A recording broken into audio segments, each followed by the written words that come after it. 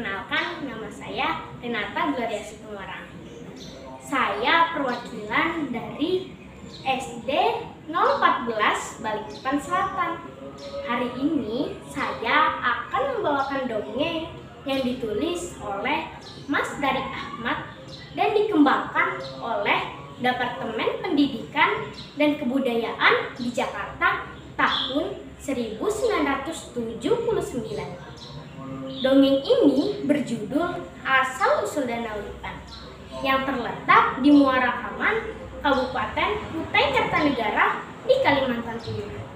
Alkisah pada zaman dahulu di Kutai ada sebuah kerajaan yang bandarnya sangat ramai karena letaknya pas berada di tepi lautan.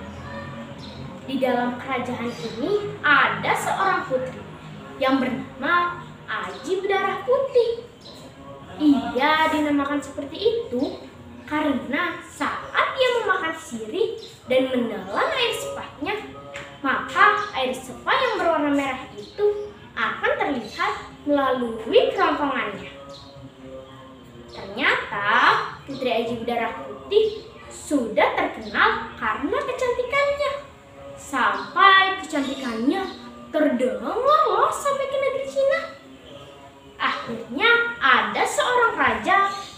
Cina itu yang mendengar kabar kecantikan Aji Berdarah Putih.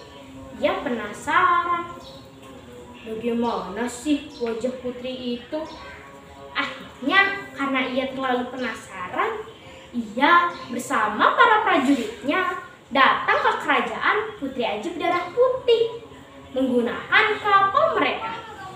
Sesampai di sana, Putri Aji Berdarah Putih menyambut mereka di depan kerajaannya.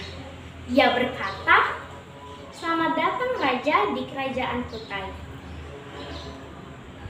Pertama kali melihat Putri Aji Berdarah Putih, Raja dari negeri Cina itu pun langsung berkata di dalam hatinya, Wah, cantik sekali putri ini. Aku jadi tidak sabar melamarnya.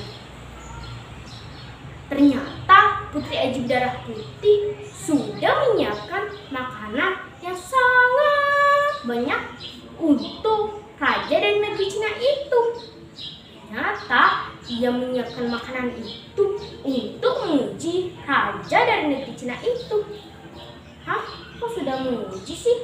Padahal kan mereka belum kenal satu sama lain.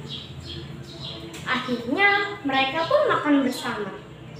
Betapa terkejutnya Putri Haji Berdarah Putih saat melihat cara makan raja dari negeri Cina itu. Karena raja dari negeri Cina itu makan langsung dari tempatnya dan menyesapnya seperti hewan. Putri Aji Berdarah Putih tidak suka akan hal itu. Dan ia merasa kalau raja dari negeri Cina itu tidak menghormati adat istiadat yang ada di situ.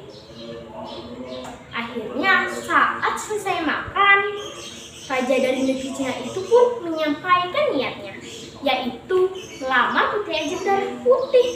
Tapi sayangnya Putri Aji Berdarah Putih berkata, Maaf Raja, saya tidak bisa menerima lamaran Raja.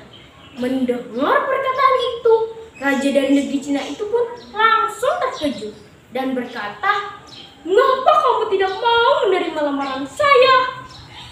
Jawab Putri Aji Berdarah Putih, saya tidak mungkin menerima orang yang cara makannya tidak sopan seperti Anda.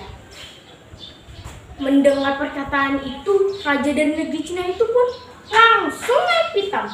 Karena ia sudah terlalu marah, ia menyuruh para prajuritnya untuk menyerang semua orang yang ada di kerajaan itu. Akhirnya peperangan pun terjadi. Dari atas kerajaan, Putri Aji Berdarah Putih melihat peperangan itu melihat peperangan itu. Ia takut karena ia rasa kalau prajurit yang ia kerahkan sudah mulai kewalahan.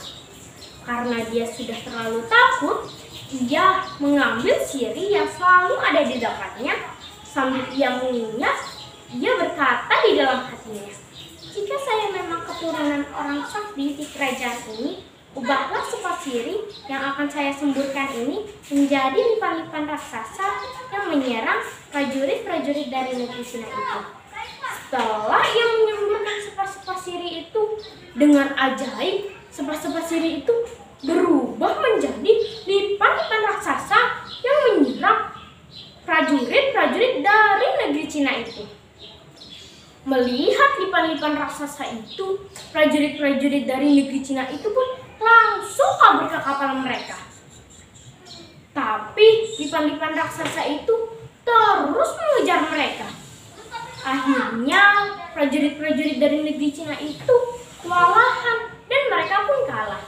Sampai kapal mereka ditenggelamkan loh. Akhirnya lautan itu menjadi daratan Itulah yang disebut Danau Lipan. Ternyata setelah Putri Aji berdarah putih menyemburkan sepa-sepa sirih yang menjadi lipan-lipan raksasa itu, Putri Aji berdarah putih menghilang entah ke mana. Sekian dongeng asal-usul Danau Lipan. Pesan moral yang dapat kita petik dari cerita ini adalah di mana pun kita berada, kita harus menghormati adat istiadat yang ada di situ. Sekian dari saya, terima kasih.